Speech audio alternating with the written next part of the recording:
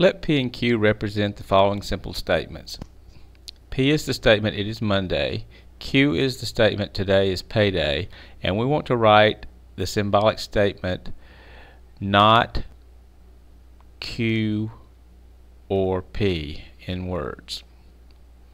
So I would say probably the way I would look at it is that you might first try what I might call just a rough translation.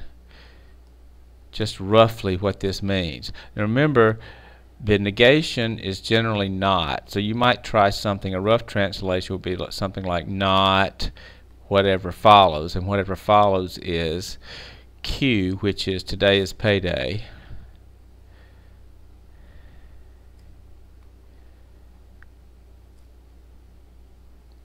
This is or.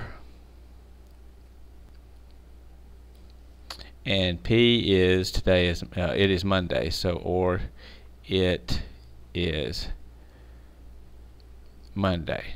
Now that's a rough translation. Now you want to tighten it up and make it sound grammatically correct. So it's something like uh, not that it's payday, today is payday or it's Monday. So you might say something like this, and this is true in general, just to make it sound right.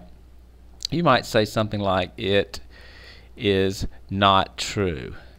In other words, instead, instead of saying just not, fancy it up, it is not true that.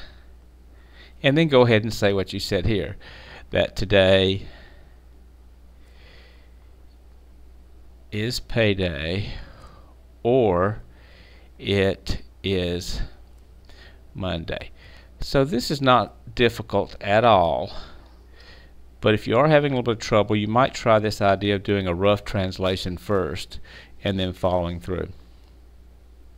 Let's do another one.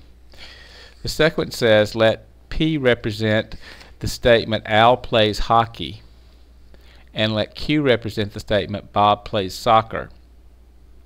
And this time we want to convert the statement into symbols. So Al does not play hockey. Well, if P represents Al plays hockey and we've got the not in there, that would be not P. And then of course we've got the and, and the symbol for and is that. And then Bob does not play soccer. Well, Bob plays soccer is Q, so does not play soccer is not Q. So again, don't try to make these simple problems difficult because they're not.